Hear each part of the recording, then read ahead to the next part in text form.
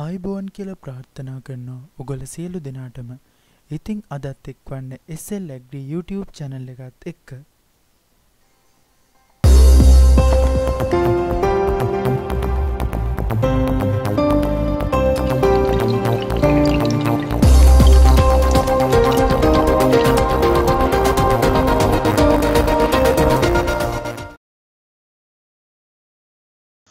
ඕකීට් වගා කිරීමේදී ඕකීට් පැළයක් බඳුන් ගත කිරීමට යොදාගන්නා සහායක මාධ්‍යයක් ලෙස අපිට මේ දකින්න තියෙන අඟුරු හඳුන්වන්න පුළුවන්.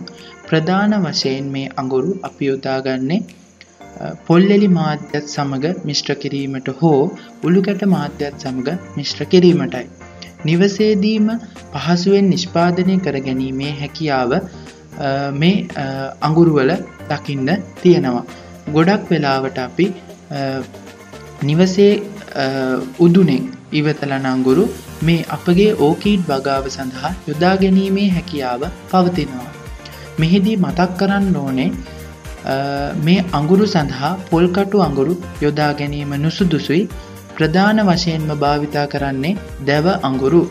ඔබට මේ අඟුරු නිවසේදී සකසා ගැනීමට නොහැකි නම් දැන් මෙද්දි වෙළඳ පොලෙන් මිලදී ගැනීමේ හැකියාව දකින්න තියෙනවා. නැතහොත් ඔබ නිවසාසල බේකරයක් වගේ ස්ථානයක් තිබෙනවා නම් ඔවුන්ගෙන් නොමිලේම මේ දැවාංගුරු ලබා ගැනීමේ හැකියාව පවතිනවා.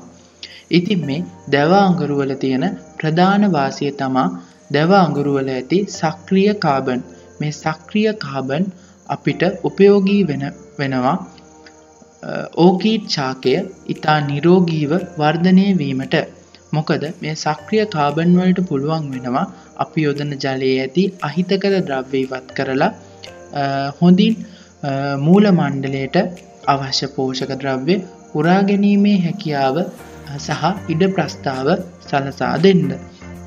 ඉතිං අපිට පහසුවෙන්ම නිවසේදීම සාදා ගැනීමේ හැකියාව පවතිනවා මේ අඟුරු කියන මාධ්‍ය ඒක නිසා අපේ වගාකරුවන්ට සහ ගෘහාශ්‍රිත වගාවන්ට ඉතා පහසුවෙන්ම යොදාගත හැකි මාධ්‍යයක් විදිහට මේ අඟුරු හඳුන්වන්න පුළුවන්.